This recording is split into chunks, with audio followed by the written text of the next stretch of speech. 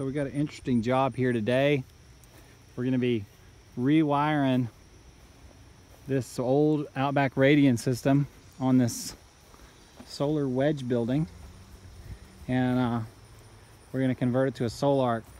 So before the power comes came out of the house, went into the building, and then inside the building, the, the power system would take the power from the panels and store it in the batteries and push it back into the house.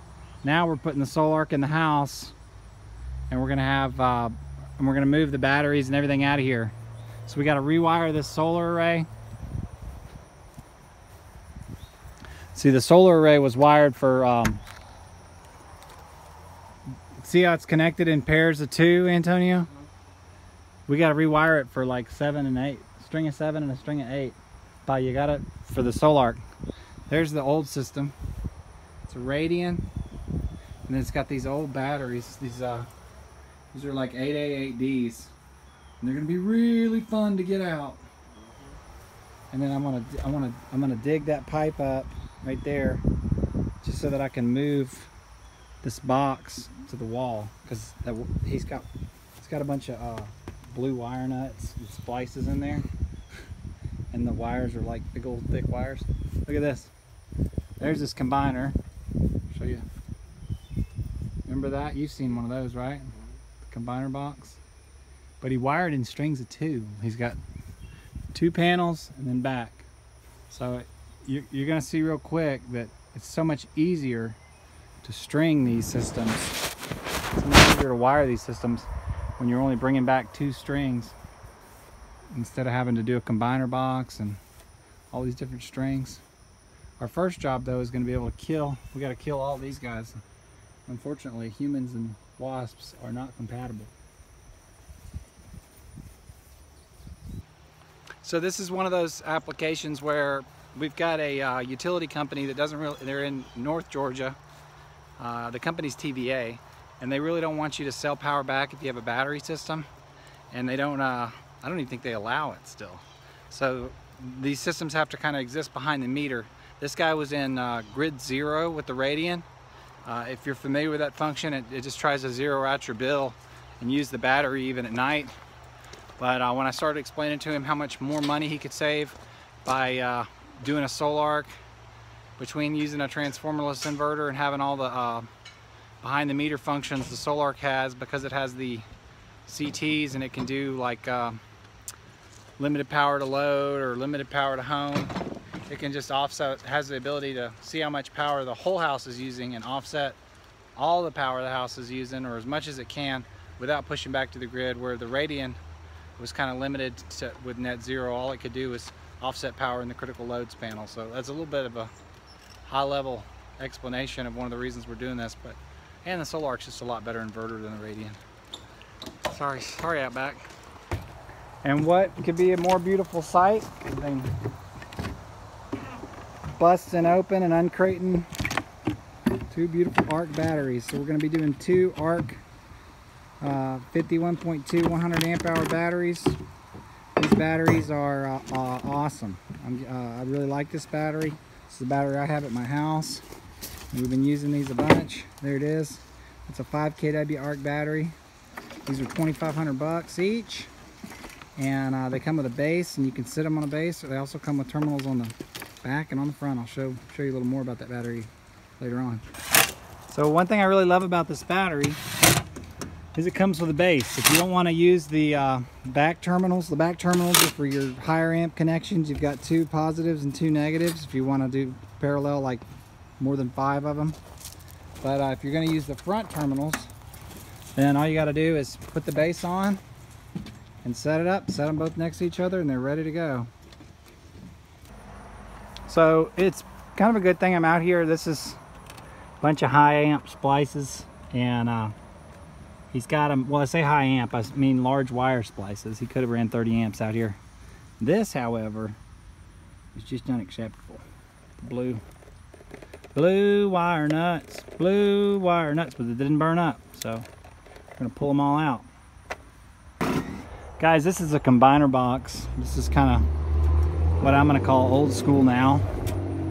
But uh, basically all the solar panel strings are coming in through these two uh, conduits and then they're each string of panels on this particular array panels are wired in strings of two so they're making about 80 volts open circuit 70 70-ish when they're um, under under load. But uh, you can see all the positives from each string of panels is going each one each string of panels of two is going through a breaker. And then they're getting combined. The breaker the breaker teeth are biting onto this bus bar. It's off so I'm safe. And then that's your output to your charge controller. This was the system 48 volt system with a charge controller.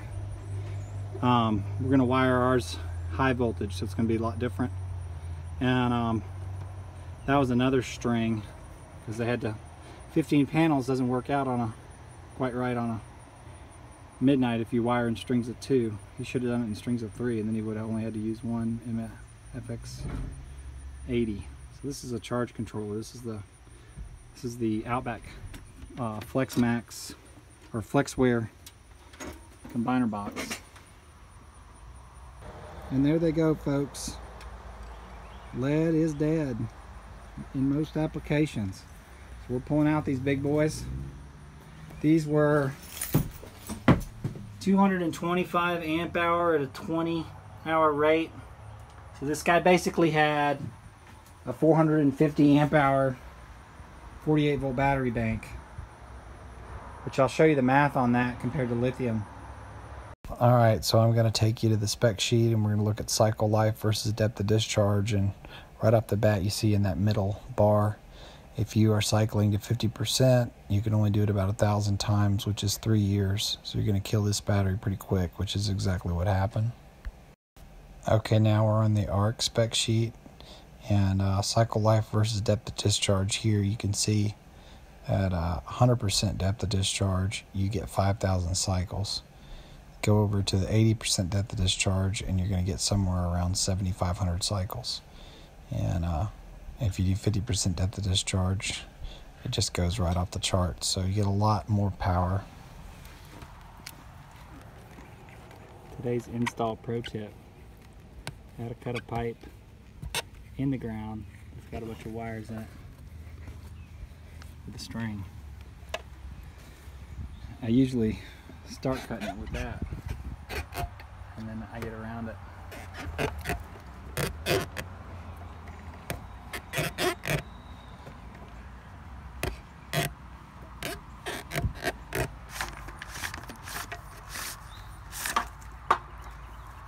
So I know I told you guys one time already what I was doing here, but I'm rewiring the solar array for the Sol-Ark since I'm bringing DC all the way into the house now.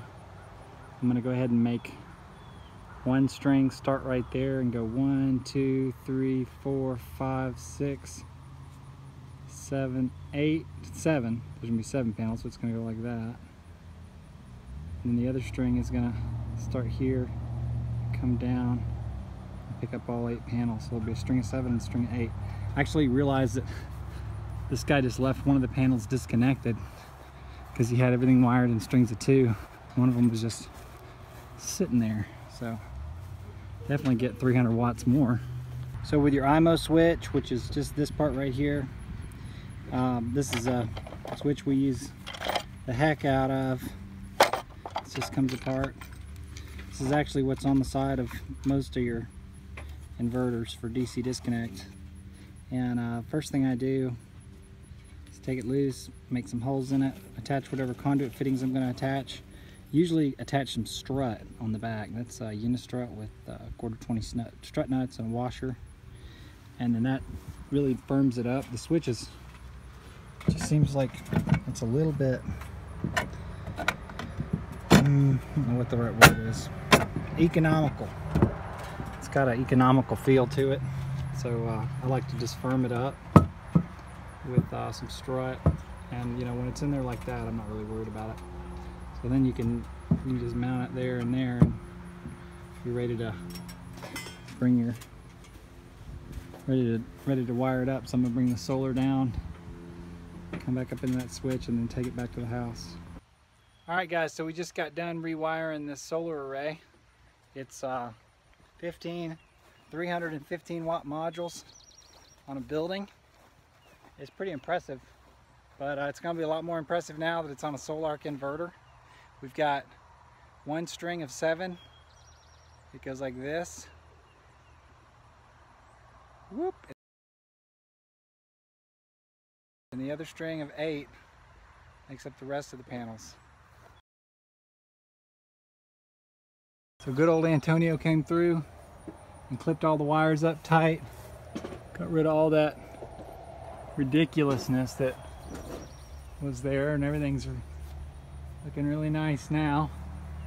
We've got our panels going into a uh, weatherhead and there's that weatherhead. I'll probably throw a strap on each side to keep it so it never sags. It always has room to drip. And then here's our IMO. Got the IMO and then uh, that's a disconnect. And right there, those are the wires that are heading down back to the house. Uh, used to have AC coming out here on number six. So, um, a lot of people ask me about these IMOs. Just have a lot of questions about them. I tell everybody the switch is not, the body of the switch itself is a little bit flimsy, so I always like to mount it on a piece of strut, really get it solidly attached, standing on some pretty solid nipples. But the switch itself is pretty bulletproof. So there's there is uh, 270 volts on the string of seven. And then 315.8 volts on the string of eight. And um, it's kind of hard to wire one of these four pole IMOs this is the 25 amp four pole. It is a job to wire this thing with all eight conductors and those are actually number sixes going up into the bottom. Um, but if you if you loop your wires back through behind and keep them back behind and just kind of swoop them in, it's not that bad. So next part, tomorrow we're gonna come back, we're gonna wrap this install up. But now he's got a nice little, nice little wedge shaped shed. All right guys, so there's that old 4048 ready to go, ready to ride. Say what? Sí, está bien. And uh, a lot of you guys might be asking me, why would you tear out a perfectly good inverter and uh, put in a Sol-Ark? So for, for those of you out there that it's not obvious why you're not using Sol-Arks yet, um, number one, his batteries were dead, so we had to do something. Uh, number two, he was never really happy with the location of his system. He was always having to go out there and check on it and do stuff. The bypass was out there, so you imagine if he had any kind of fault, just to run out there in the middle of the night. Uh, so he didn't like that. It was also, you know, the Radian is was a pretty good inverter, but it was really hard to use. The, the menus were hard. The scroll wheel was instantly outdated once iPod got rid of their scroll wheel. And uh, it was just a difficult system to use. I, I think, I don't think anybody, any homeowner ever had a very good, a lot of ease doing that. So anybody who's using a Sol-Ark knows how easy they are to program and navigate and use. And, uh, just how little interaction they actually need. You really don't have to press any buttons or do anything. Uh, as I mentioned earlier, this thing's kind of in a behind the meter. It was in grid zero, now it's going to be in zero power to home using the Sol-Ark. So uh, we had to do something. The inverter was also out of warranty, so you know it's just a matter of time. You, all that said, the Radian is still working, and uh, so is the uh, the two Flex Maxes. I think there's an 80 and a 60. There's also a Mate 3, and uh, that gear's for sale. So anybody out there needs a system, it's a 4048 and it's working just fine with uh, all the stuff you need to hook it up. Folks, so say a prayer for us. We're about to head out and Antonio's got everything strapped down pretty good. Okay. Got to take these dead batteries out of here.